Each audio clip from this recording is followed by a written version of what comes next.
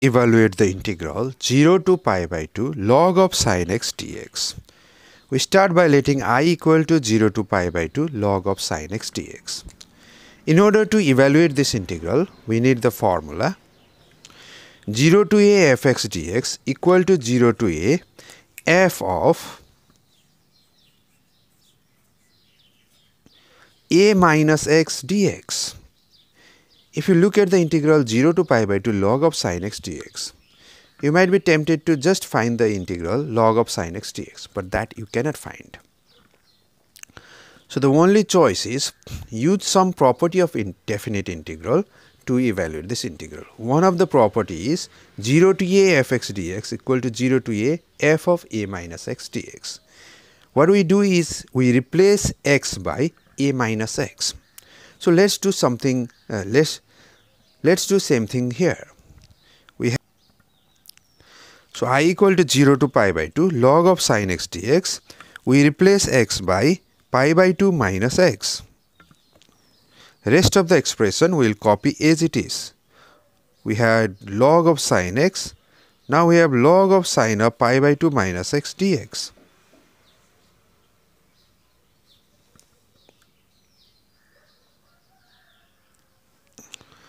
That's equal to 0 to pi by 2 log of sine of 90 degree minus theta. Sine of 90 degree minus theta is cos theta. So we have log of cos x.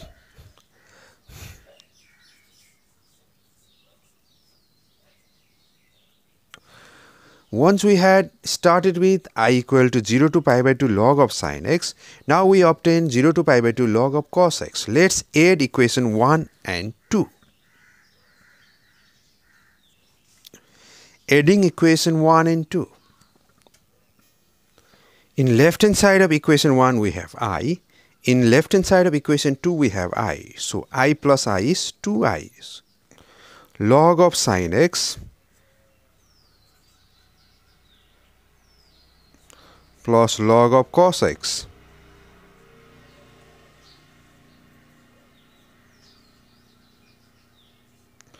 Now you know that log of u plus log of v equal to log of uv.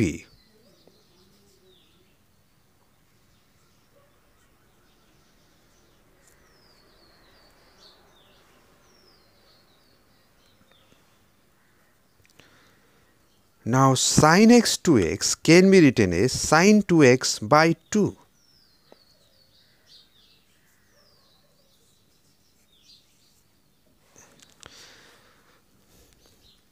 Let us take 2x equal to t.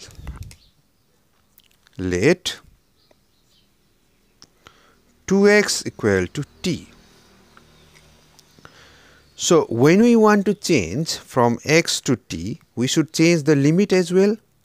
When x equal to 0, t equal to 0. When x equal to pi by 2,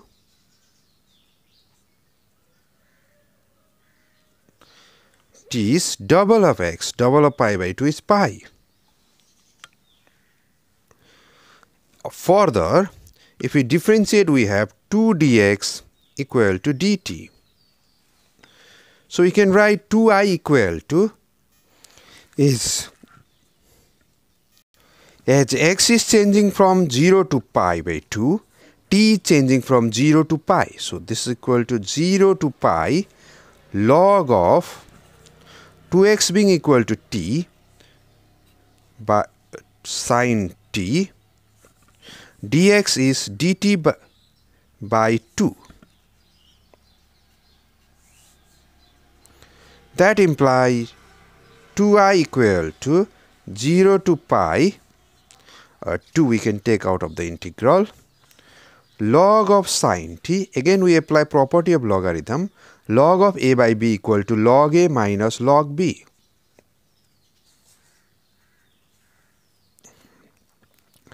Now, we recall another formula if f of 2a minus x equal to fx then 0 to 2a fx equal to 2 times 0 to a fx Is that true here?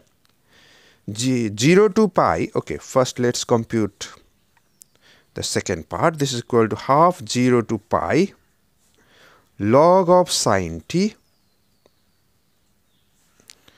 dt minus log of t is const sorry log of 2 is constant so 0 to pi integral of log of 2 is just pi pi log of 2 by 2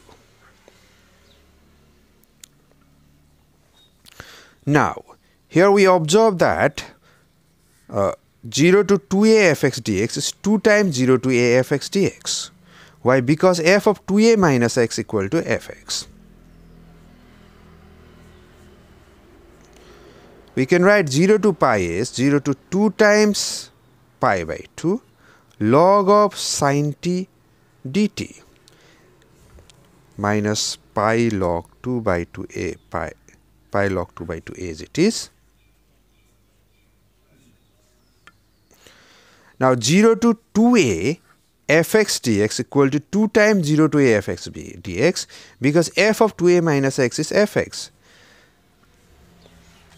sine of 180 minus theta is sine theta. So, this is half into 2 times 0 to pi by 2 log of sine t dt minus pi by 2 log 2 as it is. 2 2 gets cancelled. Now, this can simply be written as 0 to pi by 2 log of sine x dx.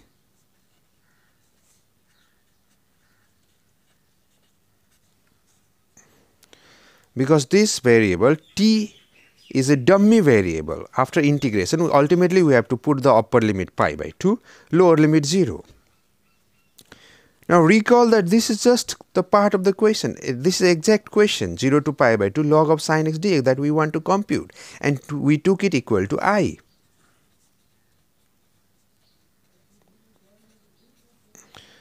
Now if we take i to the left hand side, 2i minus i will get i equal to minus pi by 2 log 2 and we are done.